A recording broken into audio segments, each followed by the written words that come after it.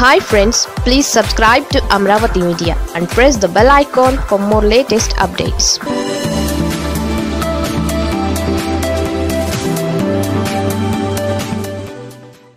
Gautam Reddy family భారీ త్యాగం.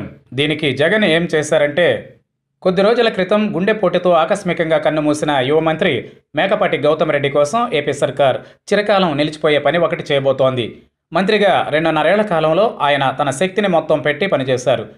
AP అభివృద్ధి కోసం అహర్హం శ్రమించారు. ఒక విధంగా చెప్పాలి అంటే చివరి శ్వాస వరకు కూడా గౌతమ్ రెడ్డి ఏపీ మేలు కోసమే తాపత్రయపడ్డారు. మరి ఆయన జ్ఞాపకాలను శాశ్వతం చేయాలని వైసీపీ ప్రభుత్వం సంకల్పించింది.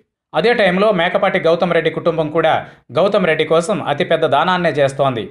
మేకపాటి గౌతమ్ రెడ్డి అంత్యక్రియలు జరిగిన ఉదయగిరిలోని మెరిట్స్ కళాశాల భూములను పూర్తిగా ప్రభుత్వానికి అప్పగిస్తోంది. అంతేకాదు ఇక్కడ ఉన్న కాలేజీని అభివృద్ధి చేసి వ్యవసాయ విశ్వవిద్యాలయంగా చేయాలని మేకపాటి కుటుంబీకులు జగన్ను కోరారు. ఆయన అంత్యక్రియలకు హాజరైన ముఖ్యమంత్రి జగన్ వద్దకు మాజీ ఎంపీ గౌతమ్ రెడ్డి తండ్రి మేకపాటి రాజమోహన్ రెడ్డి ఈ ప్రతిపాదన తీసుకురావడంతోనే జగన్ అంగీకరించారని చెబుతున్నారు. దాదాపుగా రెండు వందల ఇరవై ఐదు కోట్ల రూపాయలు విలువ చేసే ఈ భూములను ఉదారంగానే ప్రభుత్వానికి మేకపాటి కుటుంబం అప్పగిస్తోంది. ఇక్కడ వ్యవసాయ విశ్వవిద్యాలయాన్ని అభివృద్ధి చేసి దానికి తన కుమారుడి పేరు పెట్టాలని మేకపాటి రాజమోహన్ రెడ్డి కోరారు. దానికి జగన్ వెంటనే ఓకే చెప్పారని అంటున్నారు. వచ్చే నెలలో ప్రారంభం కానున్న అసెంబ్లీ సమావేశాలలో దీని మీద జగన్ సభలో కీలకమైన ప్రకటన చేస్తారని అంటున్నారు.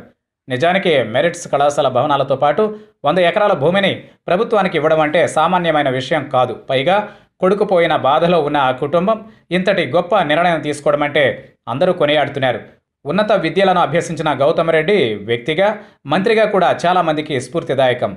అందువల్ల ఆయన పేరు మీద వ్యవసాయ విశ్వవిద్యాలయం ఏర్పాటు చేయడం కూడా చిరకాలం ఆయన కీర్తిని చాటేలా మంచి విషయం అంటున్నారు. ఇక ఉదయగిరి అభివృద్ధికి కూడా మంత్రిగా గౌతమ్ రెడ్డి ఎంతో కృషి చేశారని అంటున్నారు.